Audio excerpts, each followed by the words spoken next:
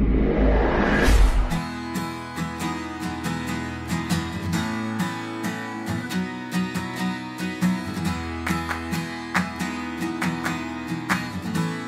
we're here today, it's uh, obviously part of Girls Football Week. Um, uh, we're providing opportunities for colleges within the local area. Um, now, I think it's a great opportunity to provide uh, competitive football to all girls within the area, but for us, um, it's vitally important to make sure that we transition girls into, in, um, into regular football. Now, we run a programme um, as part of the foundation called the Premier League Girls Programme, which is funded by the Premier League and Sport England.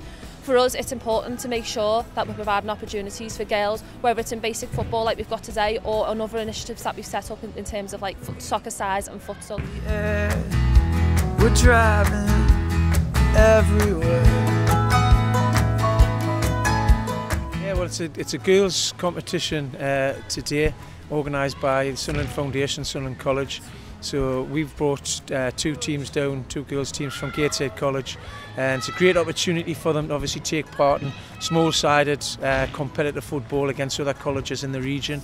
Um, as well as meeting obviously the, the, the professionals from Sunderland Ladies, uh, which is great that the, the girls uh, get to meet them, get their photographs taken, uh, and obviously see the role models, you know.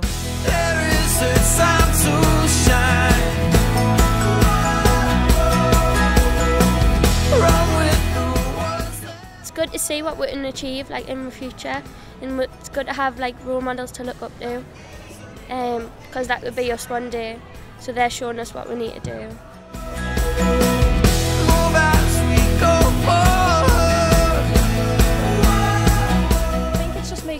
that obviously we've got the programs in place making sure that we work together with other other organisations to make sure that we grow the, the female game within the local community.